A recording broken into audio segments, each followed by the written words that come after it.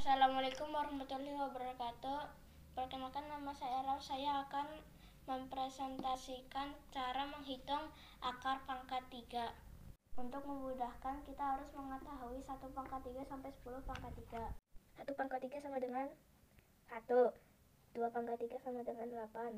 3 pangkat 3 sama dengan 27. 4 pangkat 3 sama dengan 64. 5 pangkat 3 sama dengan 125 6 pangkat 3 sama dengan uh, 225 216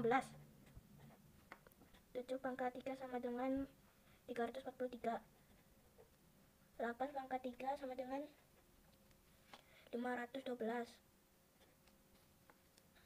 9 pangkat 3 sama dengan 729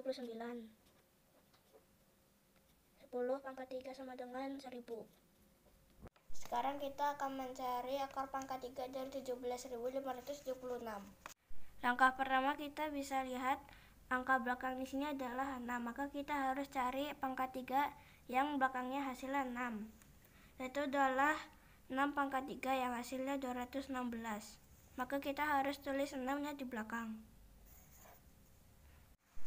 Langkah kedua Lihat angka paling depan yaitu 17. Kita cari pangkat 3 dari 1 sampai 17 yaitu ada di angka 1 pangkat 3 sampai 3 pangkat 3. Tapi tidak melebihi 17 yaitu ada yaitu ada di angka 2 pangkat 3.